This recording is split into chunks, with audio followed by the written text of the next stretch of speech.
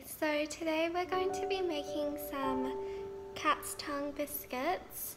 I think they're called langue de chats in French. Don't quote me on that. But they're a tuile kind of biscuit and they're really easy, so I hope you guys like it. Okay, so the ingredients for this recipe are really simple. 100 grams of butter, 110 grams of caster sugar, 100 grams of plain flour, and some vanilla bean paste and cinnamon. Now, you can flavour these however you want. Um, you could put some cocoa powder to make them chocolate. Um, I know more traditionally you can use a bit of lemon zest but cinnamon is my absolute favourite, so that's what I'm to be using. Okay, so I'm to be using a Thermomix because that's the only mixer I have. Um, you can definitely use whatever mixer you've got at home, or you can even just use a whisk and a bowl. So it's up to you. I'm going to be measuring out my butter first, so I'm just to click on the scale. I want 100 grams so I've got my 100 grams of butter in there. Next I'm putting my 110 grams of sugar. So I'm just gonna zero it out. So I'll just show you. Inside I've got my butter and my sugar. And then I'm gonna pop the lid on. And I'm gonna put it to six minutes on speed 1.5 and I'll let that cream together. Okay, so it's been mixing for like two minutes. I think it's pretty good. So I'll just show you what it looks like. You just want it to all be combined together.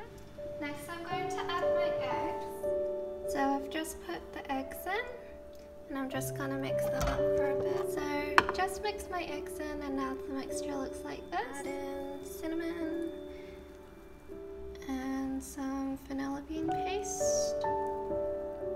I just mix that a little bit. I'm not too fussed about the cinnamon on top because I'm going to be adding the flour still. So I'm just going to put in my 100 grams of plain flour. Now with the flour, you want to make sure that you don't mix it too much, otherwise you'll have a tough cookie. So just mix it until it's just incorporated.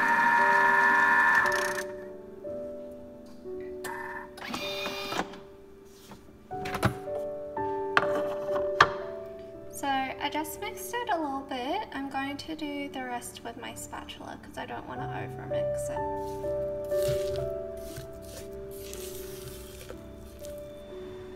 So I've just preheated my oven to 180 degrees Celsius and I've just got a Ziploc bag here inside a cup so I can put my mixture in and I can pipe it out. So I'm just gonna put my mixture in. Okay, so I've got the little tip here. I'm just gonna snip some of it off. There we go. And now I'm gonna start piping. So I've just got some parchment paper, like baking paper here. And I'm just gonna start piping them out. So I make them a little bit thicker at the ends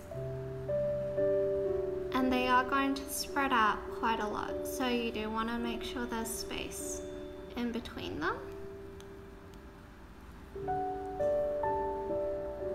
You could um, pipe these in any sort of shape that you like um, as long as you yeah keep in mind that they are going to spread.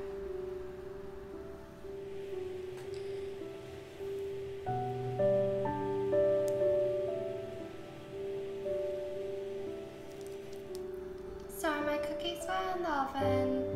So just want to see the golden them. You need to be careful you don't burn yourself, but you can mold them into different shapes,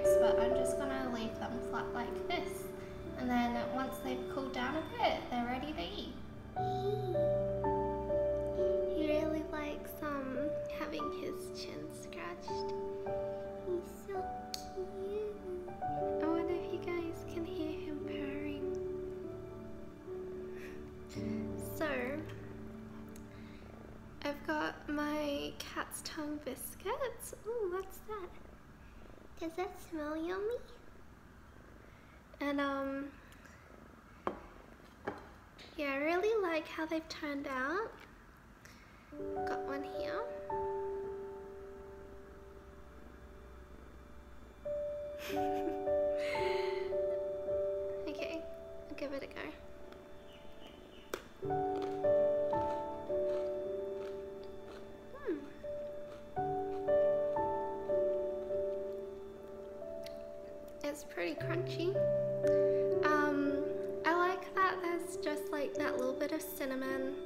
Makes my house smell nice.